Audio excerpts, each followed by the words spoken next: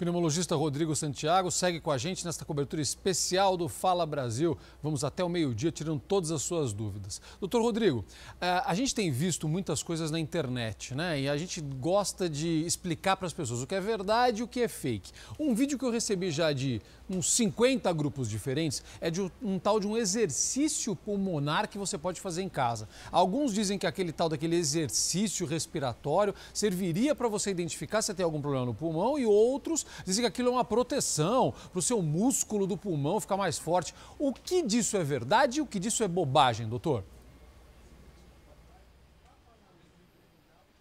É, na verdade, não, não tem muita validação científica esse tipo de teste, não, tá? A gente pode imaginar assim, fazer um, um, exercício de pensamento que uma pessoa que realmente não consegue puxar direito o seu ar, não consegue inspirar, prender e soltar, a gente pode pensar que essa pessoa pode ter alguma doença respiratória crônica e de repente não sabe. Como eu falei já, tem muita gente que tem histórico de bronquite na infância e acha que não tem asma e muitas vezes é asma. É, então pode sim ter algum comprometimento respiratório pulmonar, mas não dá para falar que é por conta do Covid. Isso é, é, é, impossível. Uma coisa muito bacana que foi falado na matéria agora é quanto esses sintomas de não sentir cheiro e não sentir sabor.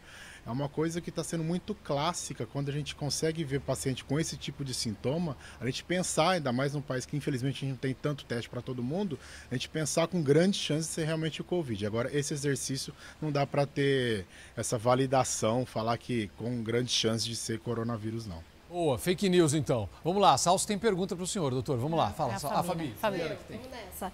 Doutor, bom dia. Fabiana Oliveira que fala com você agora. Seguinte, a, a ciência já tem tentado entender algumas possíveis sequelas pulmonares de pacientes que foram vítimas da Covid-19, ou seja, pelo exame de imagem, é possível imaginar que haja uma fibrose e mais. O que esses pacientes que já sofreram da doença, se deram como curados, podem observar? Quais são esses sintomas que podem vir a ser sequelas? A pergunta é muito boa, até porque a gente sabe que os grupos de risco principais são os mais velhos, os mais idosos, principalmente a partir de 60 anos. Agora, temos sim muitos jovens tendo pneumonia evoluindo com essa pneumonia do Covid, essa pneumonia do coronavírus, que é uma pneumonia inicialmente viral e muitas vezes acaba abrindo o portal que a gente fala, como a imunidade está muito baixa, entra a bactéria e acaba tendo uma infecção bacteriana secundária. Mas o próprio coronavírus vem causando essas lesões pulmonares, nós no meio médico a gente chama de lesões em vidro fosco, mas para facilitar o entendimento, muitas dessas lesões acabam causando uma fibrose. E essa fibrose é como se fosse uma cicatrização do tecido pulmonar é muito cedo ainda para a gente falar, ah, quem teve essa pneumonia pelo, pelo coronavírus vai acabar evoluindo com uma sequela e vai ter problemas respiratórios depois, porque não deu tempo. A gente foi ver os casos começaram na China em dezembro, janeiro, não deu nem tempo de fazer tomografia depois de dois, três meses de curado. Agora, com a experiência que nós pneumologistas temos nesses casos, é, a gente pode até comparar um pouquinho com a tuberculose pulmonar, que é algo ainda muito comum no nosso país. É, os pacientes que evoluem com sequela da tuberculose pulmonar ficam algumas marcas, algumas cicatrizes, né? É, que muitas vezes se confunde com pneumonia atual, por isso que é sempre importante ter o seu médico de confiança que já te conhece. E da parte funcional, pode sim é, acarretar alguma, alguma é, falha na parte respiratória como falta de ar, como tosse crônica e às vezes necessidade até de usar bombinha como se fosse asmático mesmo. Então a gente tem visto que tem grandes chances de evoluir com esses quadros de fibrose, por isso o, a orientação para os jovens, porque como eu falei, tem muito jovem que realmente sobrevive, graças a Deus, a gente tem dado várias altas no hospital para pacientes que tiveram a, a pneumonia pelo Covid é, e vão para casa. Só que eles podem ter uma sequela. Então, por isso que todo mundo tem que se cuidar, principalmente os grupos de risco e os jovens também. Quanto tempo uma pessoa que foi infectada deve ficar isolada para não transmitir mais a doença, desde o início dos sintomas até o final né, do, do tratamento, desde que recebeu alta, até quando ela não transmite mais a doença, 14 dias depois da alta, a gente já tem essa informação. Temos. É, a gente tem informação sempre baseada no que a gente recebe hoje. Hoje, 4 de abril, a gente, eu posso falar que a gente sabe que são 14 dias a partir do início dos sintomas. Porém, se a gente for pensar que o paciente esteve de alta do hospital, por exemplo, a gente tem que começar a pensar até nessa saída do hospital até a casa dele. Né? É, então tem toda essa questão logística, alguns estudos podem falar até de três semanas. O fato é, todo mundo está de quarentena, não tem?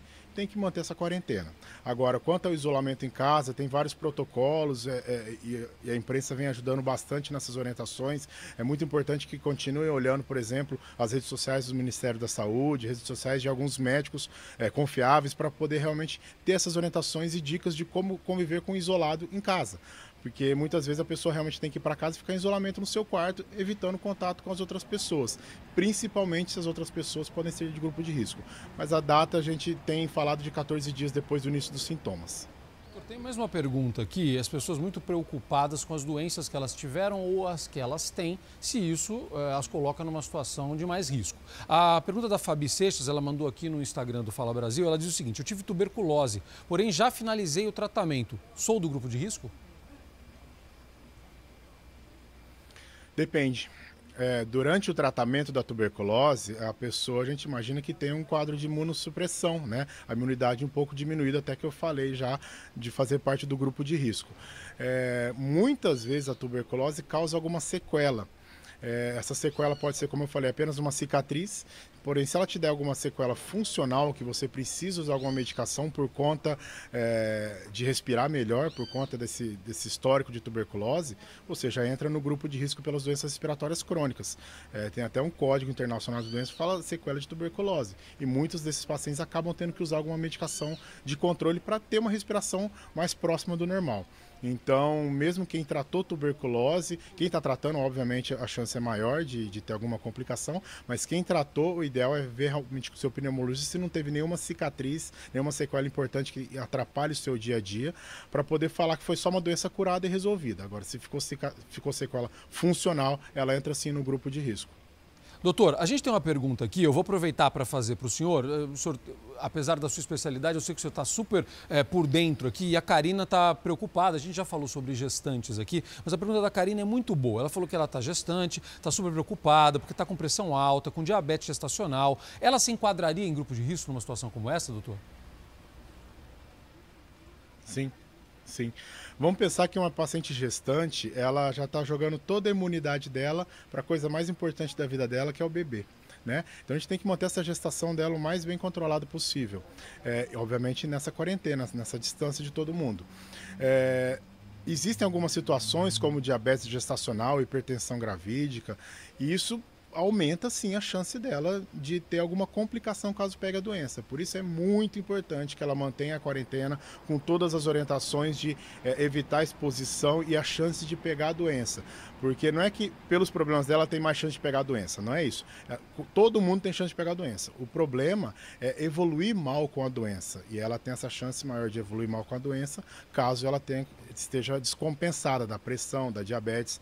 É, e mais uma vez eu falo aqui, é importantíssimo ter o seu médico de confiança para que você esclareça, tire essas dúvidas, se for o caso passar em consulta, para poder ficar tudo mais bem controlado. Tem uma pergunta muito boa aqui é, do Juversi, é, da, de Mongaguá a Juversi, que é de Mongaguá, ela está perguntando o seguinte: ela está dizendo que ela não está saindo de casa, ela está fazendo tudo direitinho, ela é mais velha, então ela está tomando super cuidado para não, não circular, porque ela é idosa. Mas ela falou que o filho que mora ao lado, mora ao lado, está saindo para ir à farmácia, para ir, ir fazer as compras, essas coisas. Ela falou que ela só saiu, desde que recebeu a orientação, ela só saiu para ir tomar vacina e mais nada. Fez direitinho, seguiu as orientações. A, a pergunta dela é em relação à máscara. Quando o filho dela volta para casa, ela não sai, mas quando o filho dela volta para casa para levar algum medicamento para ela, alguma coisa, ele está de máscara. Ela pergunta se ela também deveria usar a máscara quando eles têm esse contato. Dentro de casa a gente imagina que não tem essa necessidade, porque a gente realmente tem orientado para que uma pessoa apenas tenha que sair de casa para fazer essas compras essenciais, né? Ir ao supermercado, ir à farmácia, coisa do tipo. É, como ele tem esse contato com a mãe, que pelo jeito, pela idade é grupo de risco, a gente tem essa preocupação toda. Esse momento não é momento, de repente, de dividir talher, né? Dividir copo, toalha, cada um tem que ter o seu direitinho. Infelizmente, todo o carinho que a gente tem é, de dar beijo, abraço, essas coisas é bom evitar até mesmo dentro de casa, é, porque cada um tem a sua carga viral. Agora, usar máscara dentro de casa, eu não estou vendo essa necessidade. É importante sim que ele use a máscara para sair de casa, para se proteger e para proteger as outras pessoas. Porém, ao chegar em casa para entregar para a mãe, é, manter uma distância aí de um metro, um metro e meio, uma distância mais segura, obviamente evitando espirrar, tossir perto dela, isso a gente já fica mais seguro. E a gente, como eu disse, a gente vai falando as informações conforme a gente vai tendo. As informações que a gente tem hoje para tentar dar o máximo de segurança com um pouco de neurose, é verdade, é muito complicado essa parte da limpeza, né? Mas que a gente consiga deixar o paciente mais é, tranquilo quanto a essa questão de, de proteção. Doutor Rodrigo Santiago, pneumologista, a sua gentileza com a gente foi espetacular. Muito obrigado por estar com a gente neste sábado, por ajudar o nosso telespectador. Saiba que o senhor ajudou demais a população com seus esclarecimentos. Doutor, muito obrigado, viu? É um prazer, viu? Estou sempre à disposição.